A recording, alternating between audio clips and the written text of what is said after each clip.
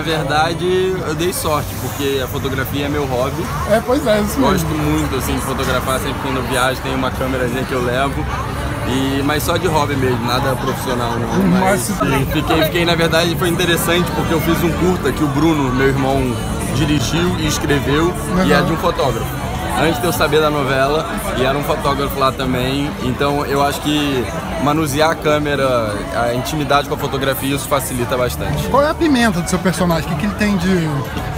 Que, que vai... Cara, eu acho que ele está num momento de transição da vida. Ele cresce numa família rica e ele começa a ter questões quando ele vai virando adolescente, questões com o pai do jeito que o pai trata a mãe, do jeito que a sociedade se impõe aos outros.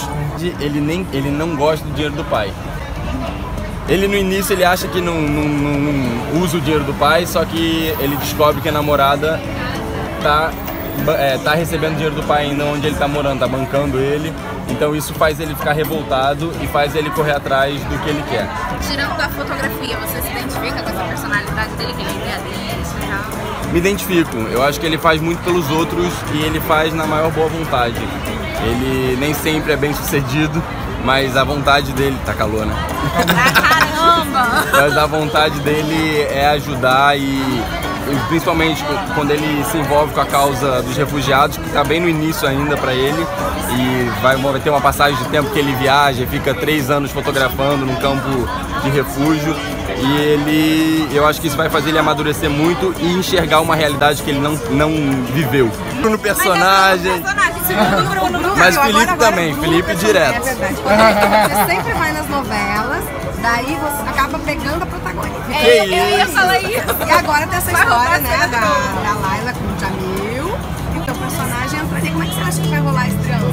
Ah, eu espero que role da melhor forma possível. Eu acho que é uma trama que vai para os dois lados, tanto do Renato, tanto do, do Jamil quanto do Bruno. É, eu acho que quanto mais tramas tem, mais força as tramas têm, eu acho que é melhor para todos os lados. Então, o meu objetivo é me divertir, é focar no trabalho e fazer um bom trabalho. Mas como é que você vê isso que ela falou que realmente aconteceu? Foi em Malhação, foi em Além do Horizonte, foi em Orgulho, você rouba a cena. Ah, não, não, vamos falar rouba, vai. Mas acontece. Não, eu acho que dá certo o personagem. É, acho que vai, vai num lugar positivo, acho que de, do foco e do respeito que eu tenho ao meu trabalho e da minha dedicação mas eu acho que é muito um contexto, é, não só meu, mas dos autores, da direção e tudo junto. Uhum. E assim, você está numa ascensão na tua carreira, né? A gente vê você fazendo oh, Muito obrigado. Parou. Como você avalia tudo isso? Porque não é todo mundo que tem, não é sorte, não é, não é todo mundo que acontece isso, né? E você está aí nessa, né, nesse seleto grupo, né? As pessoas também me perguntam como é que é emendar um trabalho no outro. Eu acho que eu sou novo, eu tenho, eu tô com 27. Tem alguns anos que eu tô já na casa e fazendo novela. E eu acredito no que eu, no que eu falei. Eu, eu, eu foco muito no que eu faço. Eu gosto muito do que eu faço. Então, quando você tem foco, quando você tem respeito, quando você tem você agarra as suas oportunidades com unhas e dentes, sempre com maior respeito aos outros, eu acho que isso é, vai ao seu favor. Então, eu fico muito feliz. Se Deus quiser, que seja só o início eu não, consigo, eu, não acredito, eu não consigo entender. Esses dias me chamaram, fui eu, a Agatha, a Jupaiva e o Nicolas, chamaram a gente para fazer um. Cara, tô suando. Pra fazer um. Tipo, não era uma palestra, mas falar da nossa experiência em Malhação. E quando eu cheguei lá, ver a galera da Malhação e outros atores também de peso que estavam no elenco, e você e eu tá ali, eu, eu, eu não conseguia me, me ver num lugar de ter 10 anos já de, de carreira mas ao mesmo tempo eu acho que eu vou tudo todos os trabalhos que eu vou fazendo eu aprendo muito. Já errei muito mas tento sempre é, tirar o bom dos erros e dos, dos acertos e caminhando devagar um dia de cada vez. Também não, não, não adianta se atropelar porque cada dia é um dia e nada está sempre certo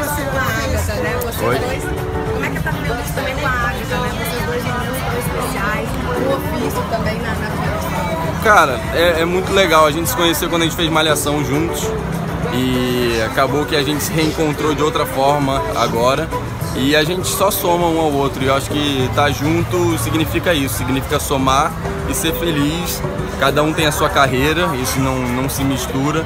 E, mas cruzar em cena é muito legal e a gente tenta trocar bastante. E, e é isso, e somar um com o outro. Tem uma galera enorme que chipa vocês dois, né?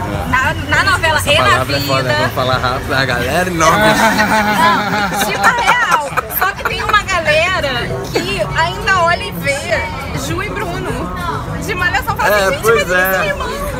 Mas é muito doido. É, eu- o que eu acho de novela, novela tá no dia a dia. Eu acho que o fanatismo que as pessoas têm com as tramas, com os personagens, é porque a gente está diariamente na casa das pessoas. É diferente com filme, é diferente com série, que é- é- são períodos curtos do personagem. Eu acho que acabam lembrando bastante disso. Malhação, eu acho que é uma época que os nossos fãs também cresceram, hoje já são adultos, na época eram crianças, adolescentes, e eles viveram muito isso de perto. Então, eu acho que as pessoas lembram, mas tá tudo certo, tem problema nenhum. É isso, Ah, de é boa, legal, sem né? problema nenhum. Coisa não, é que não acredita essa coisa da glamorização, vocês parecem que vocês nessa. Sim, graças a Deus. A gente tenta sempre deixar o pé no chão, bem, bem firme no chão. Muito obrigado. Rodrigo, a gente Obrigado tava você. aqui antes que você já fez italiano, você fez índio, nessa você se livrou. É, eu faço um paulista. Cara, eu te falar que eu tô. Eu, eu tô. Eu tô animado de fazer uma novela sem ser de época. Eu adorei fazer, gosto muito de fazer, mas eu acho que dá um lugar de mais tranquilidade você conseguir brincar com o cotidiano. Ele é paulista, eu tô só suavizando um pouco o S, não tô também tentando fazer nenhum sotaque. Isso foi de acordo com a direção. Mas eu tô animado, tô animado de fazer uma coisa mais cotidiana do dia de hoje. Mas eu gostei muito, fazer o índio foi uma experiência inesquecível. O italiano foi um divertimento do início ao fim. E vamos embora nessa nova empreitada.